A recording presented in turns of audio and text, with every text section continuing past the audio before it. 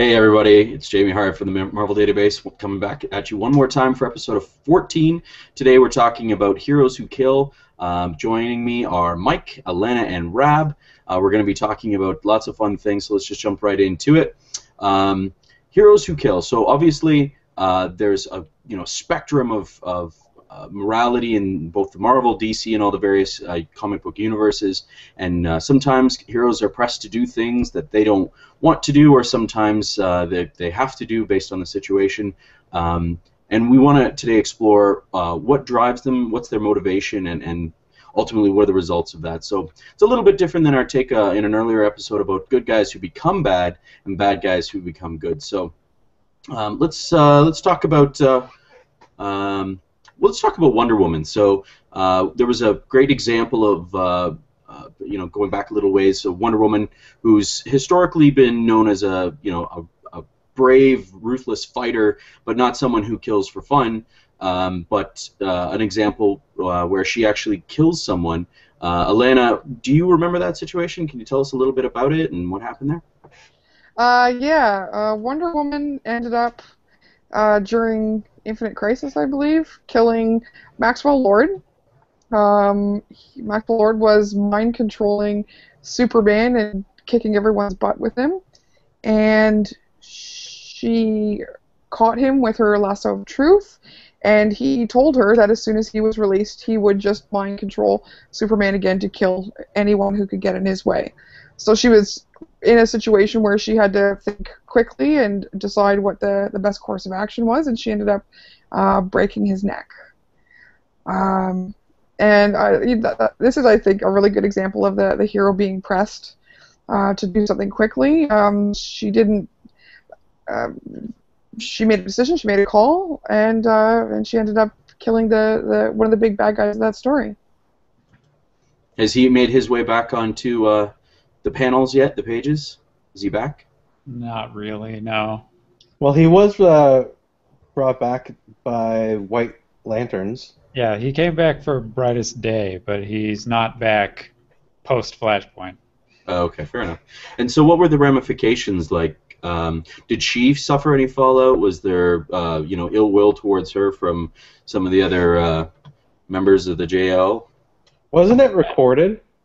Yeah. Yeah, yeah. It was broadcast everybody? to everybody.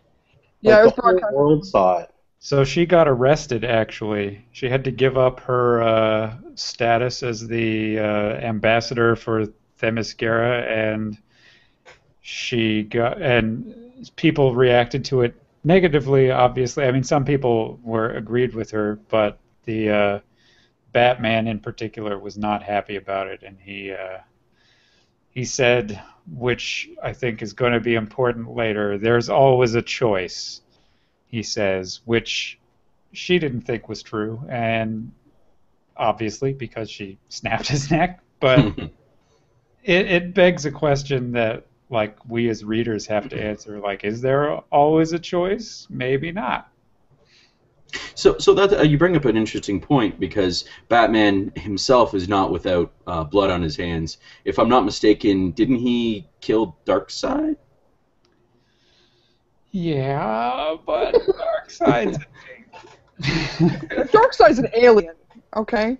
So that, that's not the same as killing humans, right? Is that, is that how that works? Because, I mean, he's not going to kill the Joker, and, you know... Oh, but didn't he? Didn't he? End of uh, Killing Joke? Maybe, maybe not. of- maybe. Yeah, yeah, but the end of that, first of all, is maybe, and secondly, wasn't originally intended to be canon. Sure. Um, but I mean, there's a, I've seen the, the question on the internet so many times.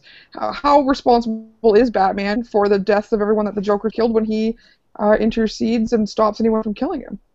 Mm-hmm. But That's a that good point. that question always like drives me nuts because I'm like, no, he's not responsible for what the Joker does.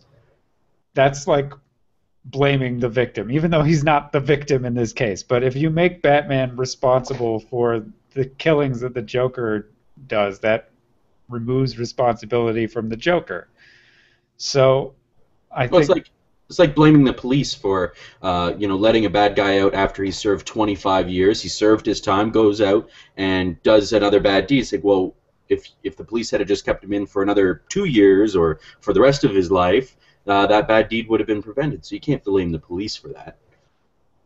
But can you blame Arkham's shitty security?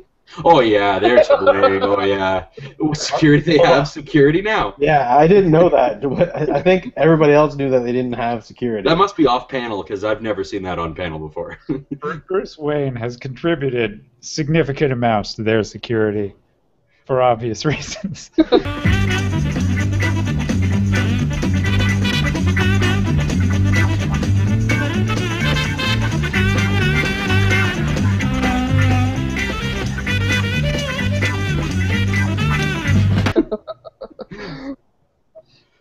All right, so uh, we, we, we talked about sort of um, the lack of choice that Wonder Woman had, but what about uh, what about killing versus allowing to die? Like, I mean, it's it's sort of another trope, if you will, uh, where the the good guys not necessarily would never shoot someone, especially in the back or anything like that. But well, let's say if you were falling and I didn't want to, you know, catch you, that's is that really killing or is that just allowing to die?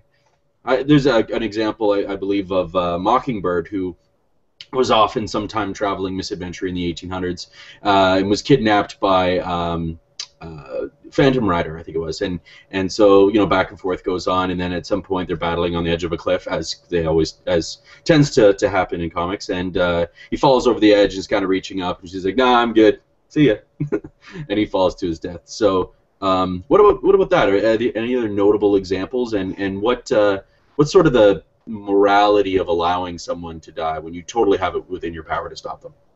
My favorite example of that uh, is an old comic, uh, Captain America number two, uh, or maybe number one, the first appearance of the Red Skull, where the Red Skull uh, injects himself with some kind of syringe full of poison, and Bucky is like, "Oh my God, Captain, we have to call the police!" And the captain stops him and is like, "No, no, no, no, no, it's fine." And like, and they walk away. End of story. But I mean, that's that the happens 40s. a lot. It happens a lot in Golden Age stuff because the pre-Comics Code Authority, where people, it's, in fact, it's the way that Disney kills off a lot of its bad guys. It's just like somebody's gonna fall. Oh, maybe I won't save them. But uh, an example of that that comes to mind is uh, Nightwing and Blockbuster. There was uh, in the uh, early 2000s, uh, around 2004, I think, in the same sort of build-up that was going on during Wonder Woman having to uh, kill Max Lord. It's everything was ramping up in the DC universe, and Nightwing in particular was trying to bring down this crime boss called Blockbuster.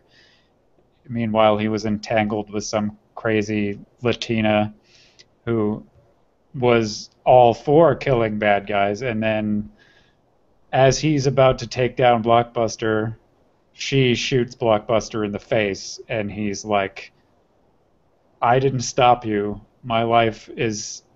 What is this? What's happening to me? So, and that has some pretty icky ramifications at the end of that issue, but the whole. Uh, it, beg, it brings you to ask, like, why. Why does he feel responsible for that? If he didn't pull the trigger, is he the killer? Like, does he kill by not pulling the trigger, or does or does he kill by allowing her to pull the trigger, or is he totally not responsible because he didn't? There you go. What are your What are your thoughts on that, Mike? You know what? Like, I think a lot Nice of shirt, by the way. heroes. I just got to stop you and say, nice shirt. I love your shirt. Thank you. Um, I have to say that a lot of these heroes, they feel that they got to take all this responsibility on themselves for, you know, the like things that other people do. I mean, it goes back to that conversation about Batman and Joker. Like, is Batman responsible for what Joker does? And like, realistically, no. Like, Nightwing situation, you were not responsible for that situation. Like, she pulled the trigger. You did not. You are like an outstanding individual who does not commit to that level of like villainry, essentially. Um, but I mean, at the same time, it gives them a real level of humanity because it shows that they, you know, they care. You know, I, I would never have killed this person. I can't believe that I let you kill this person. And it's just like, on one side, it works. On the other side, I'm like, seriously, suck it up, Buttercup.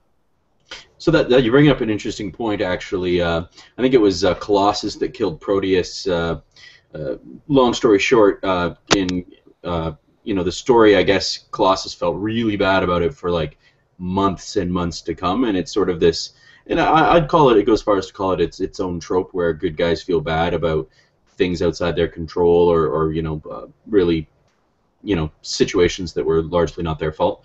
Um, you know, is that is it too much? Is it like are we beating this horse to death with having our heroes just feel shitty all the time? Like, how do, how do you feel about that? Like, there's no break. They never get a break. That's that's kind of my favorite thing, though. It's not not in every case, but say uh, an example would be in Hellblazer. John Constantine has to. He doesn't have to, but he decides to shoot the man who killed his father, who also killed a bunch of families. But he's a serial murderer, and he decides to shoot this serial murderer. And then, after he does that, he feels guilty about killing somebody because he really technically did kill somebody in cold blood.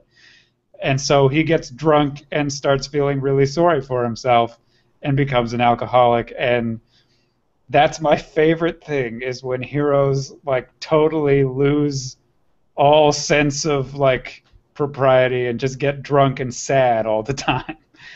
Especially John Constantine. But when characters do that, that's my favorite thing. But someone like in Nightwing's case, he sort of does a contrived kind of ah, I'm going to be bad now. I'm playing the edge, which it didn't really suit the character for me at the time. So it seems like it depends on how it's handled, but the I like it when they go nuts. That's my that's my statement on this matter. One of my classic moments that this kind of like falls into, and it doesn't involve actually anybody killing each other, but um, like back in the day, Magneto pulled all the adamantium out of Wolverine's body via the wounds on Asteroid M, and Professor Xavier lost his shit and just mind wiped him. And the outcome of that was, in the end, Onslaught because of the like just the guilt and the the issues that Professor Xavier was feeling mixed with kind of the the the like cross of joining his mind with Magneto's formed this super villain called Onslaught, and I thought that was like wonderful because he kind of like at the same time of feeling that he needed to do it, he held a lot of that in like with the like that was huge. Like he just reached in and off goes Magneto. Like that's a big deal for Xavier because he's not one to abuse his powers in any way. So I just wanted to throw that in there. Not one to abuse his powers, you say. Okay, so depending on who's writing him, how long it's been, he randomly abuses his powers. But you know what I mean. Uh, okay, so um, we've talked about uh, not having a choice. Um, we've talked about killing versus allowing to die. What about under the influence? Um, there've been, an, I mean, this kind of borders on our earlier topic of um, you know, good guys who go bad. But what about uh, situations where, um, you know, uh, an example, I think Daredevil killed Bullseye under the influence of the hand and things like that. Like when the situation came about that uh, Daredevil ended up killing um, Bullseye, he was being followed by a whole bunch of heroes, and they all saw it go down. Um, if I'm not mistaken, back in uh, that whole um, shoot, I can't remember the name of the storyline, but um, like, how much was that actually Matt? like doing the deed because there was a whole lot of history between the two of those characters and eventually like along the lines of Batman and Joker something was going to give and it seemed that this was the issue that he was going to end up killing um, Bullseye. So hold that thought for a second. Actually, we're out of time for this episode. Um, we're going to pick up right where we left off. So leave some comments in the uh, area below for us. You know, YouTube comments, how filthy they get. Uh, leave some comments. Let us know what you think of the episode, and then join us in the extra scenes. Uh, we'll see you in just a few seconds. And that's a wrap for another episode of the Comic Book Showcase. Join us again live via chat or Twitter next week. Like us on Facebook or follow us on Twitter. And to learn more about today's topics, check out the Marvel and DC databases on Wikia, the ultimate resources for comic book information anywhere.